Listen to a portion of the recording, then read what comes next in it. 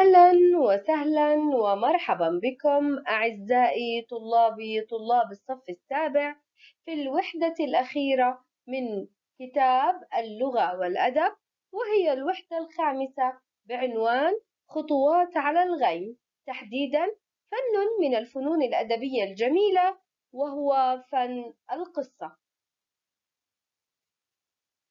سأقوم اليوم بالتعريف بأبرز الموضوعات التي سنتناولها في هذه الوحدة المفاهيم المهمة والمهمات التي سنقوم بالحديث عنها والتأمل. موضوعات هذه الوحدة عزيزي الطالب تتضمن آه، اللغة والأدب وتتضمن المهارات اللغوية. بداية سنقوم بشرح فن القصة وهي عبارة عن مادة نظرية حيث سنتحدث عن أنواع القصة تقنياتها وطرائق تحليلها. فالقصة أنت تعلم أن لها أهداف ولها أنواع كالرواية وهي أكبر أنواع القصص حجما الأقصوصة وهي أصغرها حجما والقصة القصيرة. سنتحدث عن أنواعها كالحكايات الشعبية أو الاجتماعية أو قصص الحيوان التي نقوم بقراءتها أحيانا في كتاب كليلة ودمنة.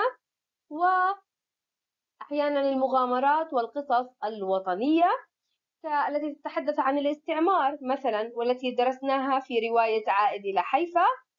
أما عناصر القصة فنحن نقوم بتحليلها دائما منها الزمان، المكان، الشخصيات، الحدث، العقدة والحل.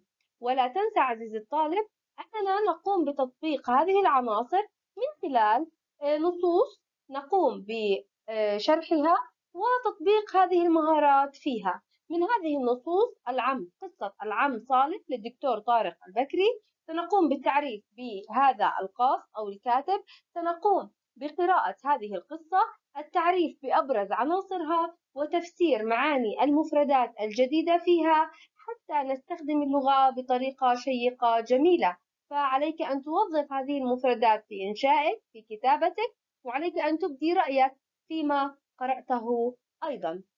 ثم أيضا لن تكون هذه القصة الوحيدة سنأخذ أيضا قصة الشيوخ الثلاثة ونقوم أيضا بقراءتها وتحليلها من خلال أسئلة فهم وتحليل وبيان معاني المفردات الجديدة فيها واستخراج أيضا عناصر القصة كزمان ومكان وشخصيات وهذه جميعها أسئلة موجودة في كتاب اللغة والأدب.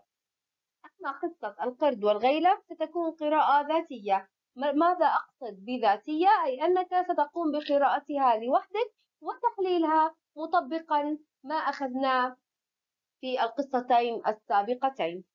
وهناك أيضا لابد من آه، بحث وتعبير كتابي فستقوم ببحث عن قصة اجتماعية وتلخصها وتبرز لنا عناصرها وأحداثها.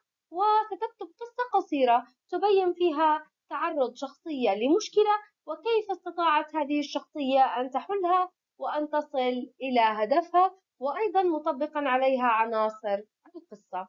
سنقوم أيضا بكتابة مقارنة بين قصتين وسأقوم الآن آه، بشرح المهمات المطلوبة منك وهي المهمات التكوينية والمهمات الرسمية. ننتقل الآن إلى المهارات اللغوية حيث سيكون لدينا حرف الشرط إن المدغم بما والمفعول لأجله همزتا القطع والوصل في الأسماء الأعداد من واحد إلى عشرة حكم التذكير والتأنيث فيها. حروف تكتب ولا تنطق وهذه مهمة جدا جدا لأنني ما زلت أرى أن هناك كلمات تتكرر الأخطاء فيها ككلمة لكن مثلا تكتب بألف وهي حروف تكتب ولا تنطق. سيكون هناك مقاطع ومشاهد مرئية ومصادر موضوعة لكم في صفحات المنصة التعليمية في صفحة صفحة تستطيع الرجوع لها لتفهم الدرس بطريقة أكثر. أذكر أعزائي الطلاب أن المفهوم الرئيس في هذه الوحدة هو الإبداع. فالقاص ينتج نصا من خياله ومن إبداعه ومن كلماته وأنت أيضا ستبدع عندما ستكتب لنا قصصا من خيالك. أما المفهوم ذو الصلة هو الإطار العام الزمان والمكان فالقصة أو من عناصر القصة التي ذكرتها قبل قليل الزمان والمكان. السياق العالمي التوجه من حيث الزمان والمكان. سترى أحداث آه، المكان الذي تعيشه وما هي الأمور التي تشهدها وستكتب في نطاقها؟ عبارة البحث هي الإبداع تعبير ذاتي يتخطى حدود الزمان والمكان. أذكر بأنه بأي كتابة أنت تقوم بصياغة عبارة البحث من خلال ما تكتبه دائما. أما أساليب التعلم فهي متنوعة. ستكون عبارة عن التفكير التواصل إدارة الذات. التفكير من خلال طرح بعض القضايا المعينة داخل الغرفة الصفية وستقوم بالتفكير فيها أنت وأفراد مجموعتك أو أنت لوحدك ثم طرح رأيك فيها مثلا عندما أطرح ما رأيك بهذه القصة ما رأيك بنهايتها؟ فكر بنهاية أخرى لهذه القصة. ستقوم بالتفكير وطرح رأيك أو هذه القضايا. التواصل التواصل من خلال الحديث التواصل من خلال مشاهدة المقاطع المرئية من خلال الصور المعروضة إلى غير ذلك بما يحدث داخل الغرفة الصفية.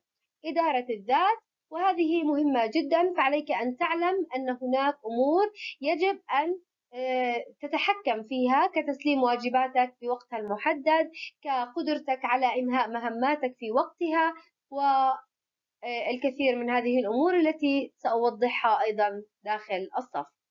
معايير التقييم ستكون المعايير الأربعة التحليل التنظيم إنتاج النص واستخدام اللغة. وسأقوم الآن بشرح المهمات ونربطها بمعايير التقييم.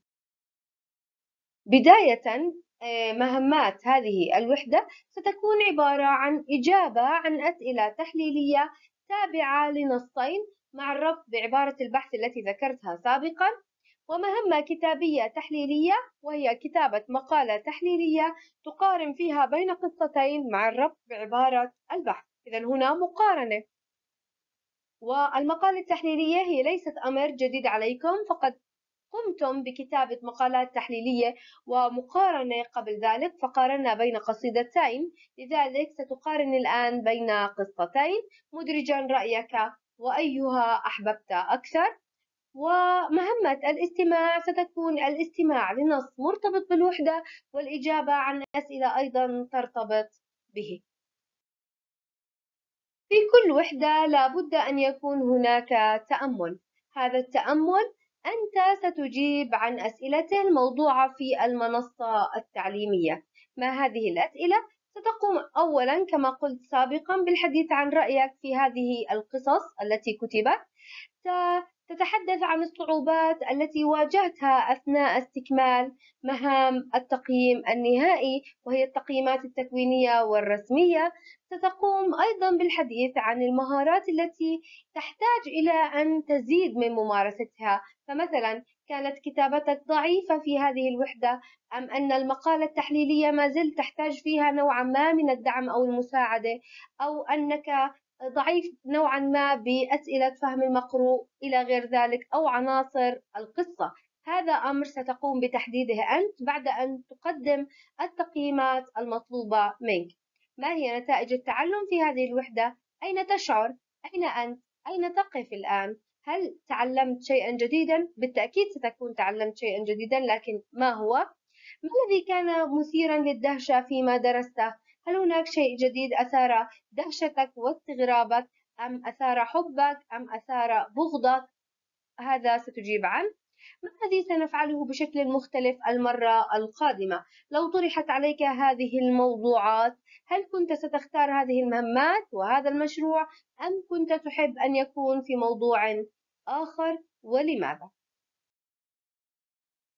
كانت هذه أبرز الموضوعات التي سنتحدث عنها في الوحدة الخامسة خطوات على الغيم أشكر استماعكم أعزائي الطلاب وأذكر بضرورة الرجوع إلى المنصة التعليمية للاستفادة مما وضع لكم من مشاهد مرئية وأنشطة تفاعلية وتقييمات ذاتية لتستطيع فهم درس درس بصورة منفصلة. أتمنى لكم يوما سعيدا. طبتم وطاب يومكم بكل أمل وخير.